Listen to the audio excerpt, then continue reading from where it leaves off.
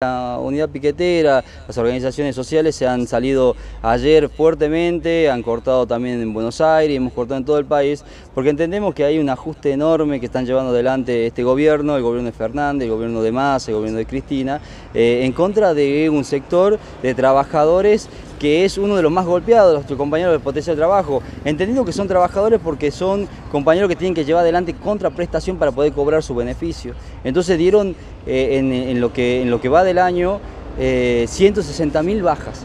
160 mil familias que han accedido primero principalmente a este beneficio porque no tenían otra, porque no tenían trabajo, porque no y sus condiciones de vida se, mantienen a hoy y no, y no se, se le quitó el beneficio porque no pudieron actualizar un dato, los datos por una plataforma que anda mal pero también porque por solamente una plataforma cuando no tenemos compañeros de Laguna Blanca, tenemos compañeros de Antofagasta, tenemos compañeros de Belén, de Andagala, que son muy difíciles que puedan acceder a la, conectividad para poder hacerse, hacer la actualización de datos y también acá en la capital que no tienen teléfono para poder hacerlo. En Catamarca, eh, ¿cuál es el número que se maneja de las personas que se han dado de baja? Mira, nosotros eh, como organización no, tenemos el dato en, cada provincia. Lo que sí entendemos que lo que nos dieron de baja nosotros, nuestros compañeros, hay un grupo de 150 compañeros que han dejado de cobrar, han empezado a cobrar la mitad y que ahora estamos intentando recuperar su beneficio.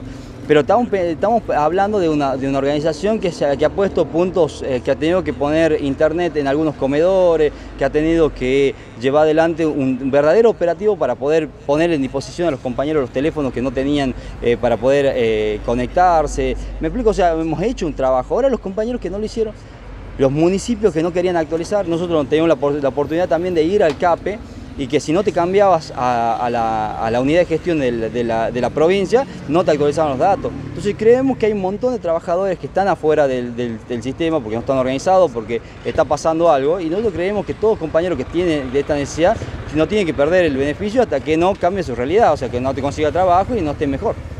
Pedro, eh, nos venimos aquí a la, provincia específicamente. ¿Cómo la relación con el nuevo ministro de Desarrollo? ¿Se han podido reunir en este último tiempo? Mira, con el nuevo ministro sí, hemos tenido diálogos desde los primeros días, hemos tenido eh, reuniones, creemos que tiene muy buena voluntad para desarrollar la tarea que, ha sido encomendada en un momento muy, muy complicado, entendemos también que con, la muerte del anterior ministro. Ahora bien, también entendemos que, hay, un, hay un problema político, no hay recursos. El mismo, el mismo ministro anterior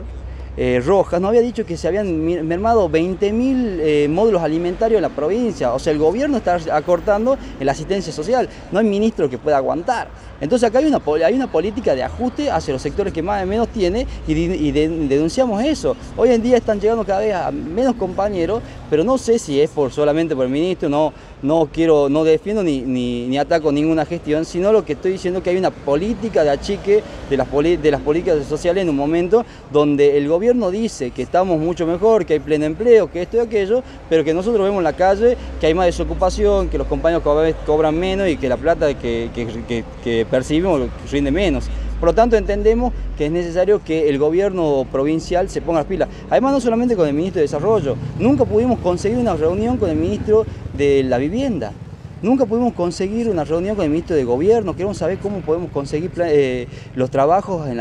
para los compañeros que tienen condiciones para ingresar a distintos fuentes de trabajo. Nosotros queremos decirle, che, mira, tenemos todo este listado de compañeros que ustedes pueden, como hay pleno empleo, seguramente tienen la posibilidad de entregarla para las empresas, para esto y aquello, para que nosotros, eh, para que los compañeros puedan ingresar a ese trabajo. Entonces, lo que decimos es que acá hay una política de vaciamiento de los sectores sociales, pero que de alguna manera tampoco hay una salida para los trabajadores, para los que tienen, necesitan trabajo.